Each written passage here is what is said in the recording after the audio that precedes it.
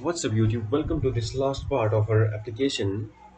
So in this video, we will connect the backend part with the front end part. For this, we have to import the backend part.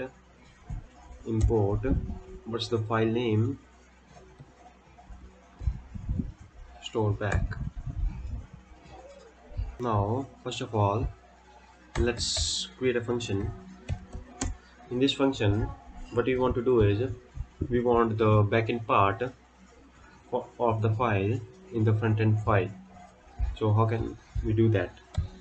For that we have to create a command let's say view cmd. You can name any but i want it like this. And first what we have to do is we want anything which is present before it. For that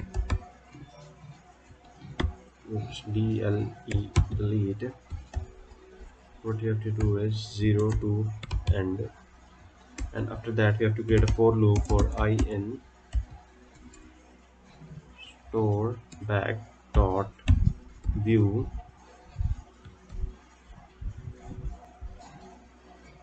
And uh, we have to do is list box. And here we have to do list box also. Sorry for this misunderstanding list box dot insert.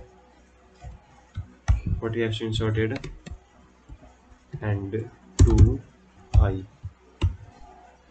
Let's run the front end file now.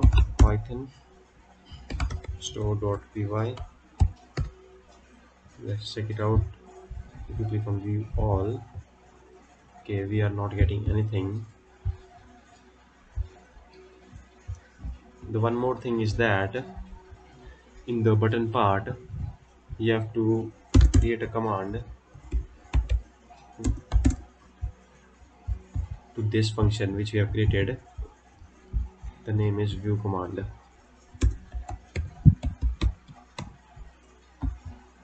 And if I run the file again copy it. Hope it will run fine. View all okay lost the connection. It's nothing. Let's delete your terminal. And run it again. View all. Still got an error. Okay guys.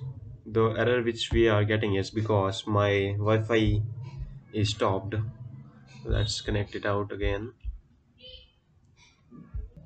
Okay the connection has been established. Let's run the file again view all still an error. I am frustrated. Okay guys i got the error. What you have to do is in all your function you have to establish this connection again. For that simply copy this line uh, which we have which is here. Copy. Put this in insert also. What the hell do the same for all the functions. Okay everything is fine. Now let's run the file. View all. Okay we are getting the things when we interview. Okay it's time to develop the another part which is a search command. Cmd for search command. First we will delete the list dot delete 0 to and now one more thing is that before doing so we have to pass here four parameters. A b d save it and let's create a for loop for in store back dot search. We have to pass here four values. The value of this 81 82 83 84 let's just pass this. Before that let me just create a command. Command equals to search command. Now we want to get the user input here. That's why we will do et1 dot get comma just copy it. One two three et2 what the hell have to remove this et2 et3 et4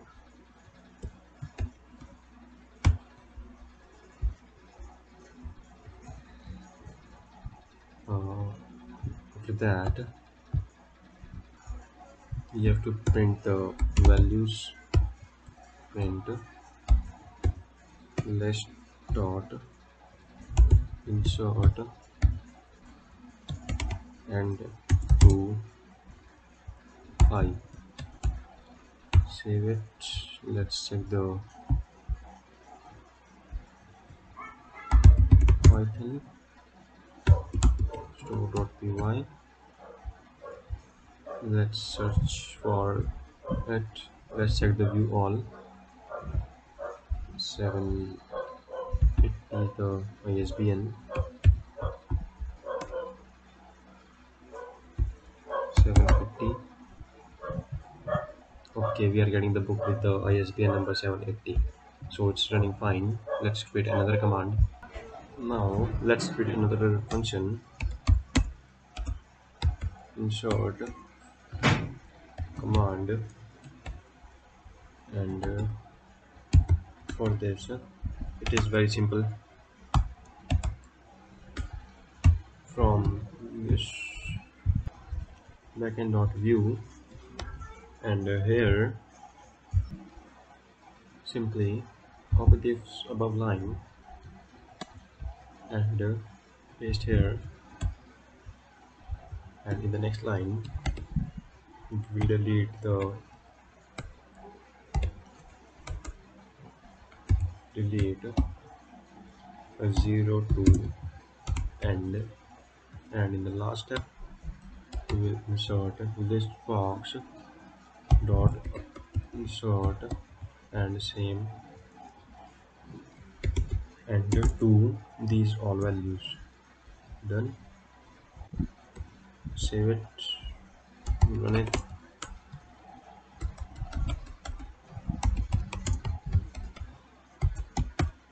oh my god python store.py let's uh, what we need to do is uh, add new. Let's say book author. Let's say luck 2020 ISBN number this. Add new. Let's view all. Okay. Let's run the file again view all. The book has not been added. I know why. Because we have not put the command here. Command equals to what's the command name? Insert command. Insert command. Save it. Run the file again